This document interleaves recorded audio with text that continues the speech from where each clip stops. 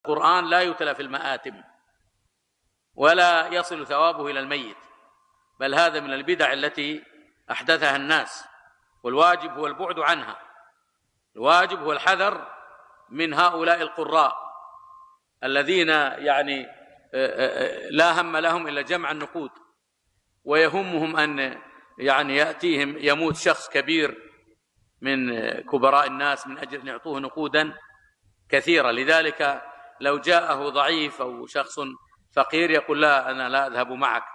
أنا عندي هنا في آي بي ما ما أنت على قدر المقام كما يقولون. ها؟ اذهب إلى القراء الصغيرين الضعيفين يروحون معك. وهذا يجري في كثير من البلاد الإسلامية وللأسف. بل إن بعضهم يتمنى أن يموت أحد. كلما أصبح الصباح يرفع يديه يا الله على باب كريم.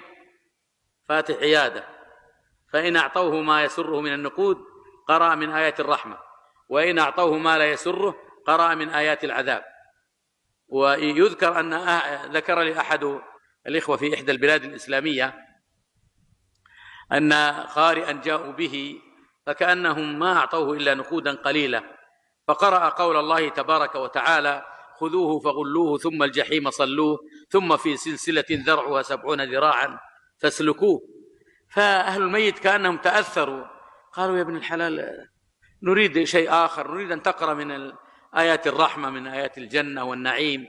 يعني ما قال سبحان الله تريدون الجنة بلاش؟ ادفعوا.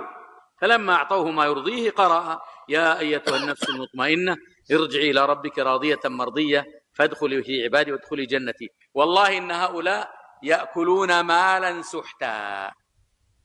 جميع القراء بلا استثناء الذين يحيون المآتم يأكلون مالا حراما.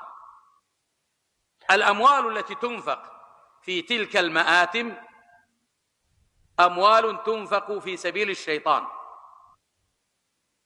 ولا تنفع الميت.